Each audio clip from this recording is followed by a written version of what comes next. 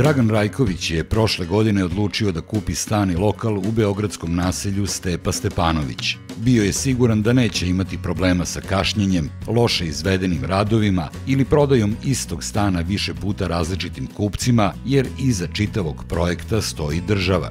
Za stan nisam imao nikakav problem, e, rokovi su ispoštovani, primio sam stan, ja njima isplatio, ali problem je nastao oko lokala.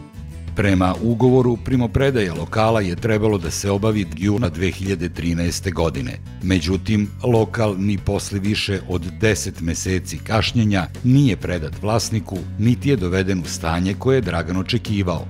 Lokal sam zateko a, sa razvaljenim vratima, nije okrećen, plafon nije izmalterisan kompletno, a, dole nema keramike. Dragan se direkciji obratio zahtevom da otklone nedostatke. Očekivao je da će makar zameniti vrata. Kako naš sagovornik tvrdi, svi njegovi zahtevi su odbijeni uz usmeno obrazloženje koje ga je dodatno iznenadilo. Kaže, mi lokale ne predajemo, kaže, sređene, ne znamo čime ćete da se bavite, pa da ne bi lupali kasnije ovo ono, mi lokale predajemo u sivoj fazi. Pa reko što niste to naznačili u ugovoru, onda ne bih prihvatio vaš lokal. Možda bi kupio na drugom mestu. U ugovoru koji je Dragan sklopio sa direkcijom zaista ne piše u kojoj fazi izgradnje će stanovi i lokali biti predati, pa svaka strana može da tumači ugovor na svoj način. Znatno veći problem od stanja u kojem je lokal je, kako Dragan tvrdi, to što mu građevinska direkcija nije predala lokal na korišćenje, iako je to odavno mogla da učini. Ipak to ne znači da njegov lokal nije bio korišćen. Građevinska direkcija ga je privremeno ustupila trećem licu. Ovde boravi neka firma Banković, građevinska firma koja radi za građevinsku direkciju, to je njihov magacin unutra. Radnici ne dozvoljavaju da se snimi sad, ne znam. Nadležne u direkciji smo pitali da li su i na osnovu čega lokal dali na korišćenje drugima. U lokalu se trenutno nalazi oprema izvođača radova koji je gradio objekat i sada vrši popravke na objektu. Njima je već dat nalog da lokal isprazne od lica i stvari. Dragan ne može da prihvati ni obrazloženje koje je građevinska direkcija dala za kašnjenje. Naime, pre predaje neophodno je bilo da se potpiše aneks ugovora jer lokal ima nešto veću površinu nego što je u ugovoru bilo navedeno. Aneks ugovora je potpisan tek u maju 2014. godine, iako u direkciji tvrde da su oni svu dokumentaciju i aneks pripremili za potpisivanje još 16. januara. U direkciji tvrde da aneks nije potpisan 16. januara samo zato što nisu uspeli da stupe u kontakt sa kupcem putem telefona. Dragan ne veruje da je to tačno, jer su ga zaposleni u građevinskoj direkciji više puta zvali u vezi sa stanom koji je kupio od njih, pa ne shvata kako njihove kolege, koje su zadužene za prodaju lokala, nisu mogle da stupe u kontakt sa njim. Pored toga, Dragan tvrdi i da je više puta lično odlazio u prostorije građevinske direkcije. A ja sam 20. januara bio kod njih. Pribavljao neku dokumentaciju za, za PDV. Pa sam bio 3. februara, 3. marta kod njih. Niko mi ništa nije rekao.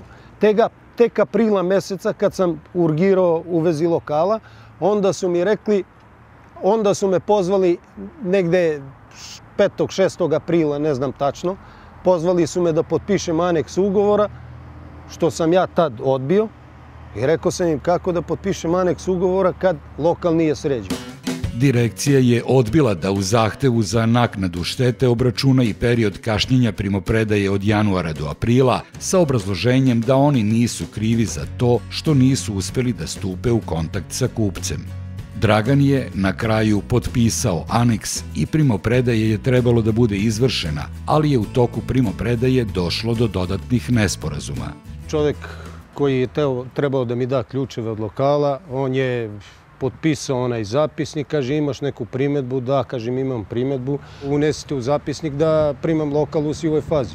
Kaže to ne može da se unese, ako ćeš da primiš lokal dobro, ako ne, kaže upisat ja tamo da ti ne želiš da primiš lokal i plaćat ćeš sve režijske troškove i to je to.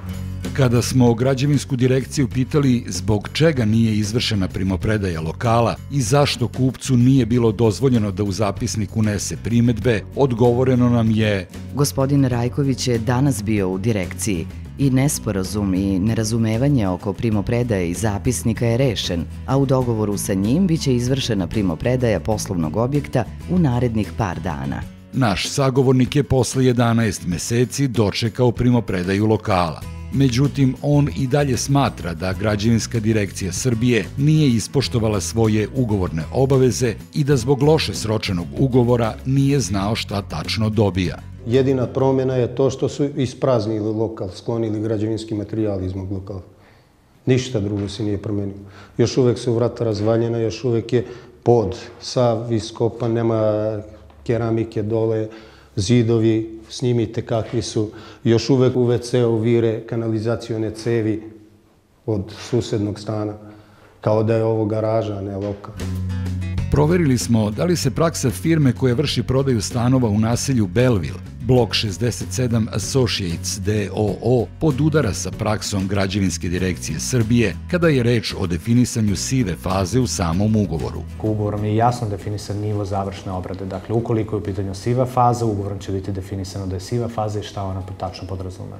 Dakle, vi dobijate doslovno e, natur zidove, to su sivi zidovi, dobijate cementnu košuljicu na kojoj ćete po potrebi u zavisnosti delatnosti koje ćete obavljati u lokalu ili postaviti parket, laminat ili keramiku, dok bi e, u našem konkretnom slučaju kupatila bila opremljena kupatelskom sanitarijom i keramikom. Dodatni problem je i to što građevinska direkcija Srbije daje neprimereno nisku nadoknadu svojim kupcima u slučaju kašnjenja. Za naselje Stepa Stepanović nadoknada iznosi samo 4 evra po kvadratu na mesečnom nivou, Direkcija isplaćuje isti iznos za naknadu štete bez obzira koju vrstu nepokretnosti ste kupili i bez obzira na to što su lokali skuplji od stanova za više od 600 evra po kvadratu.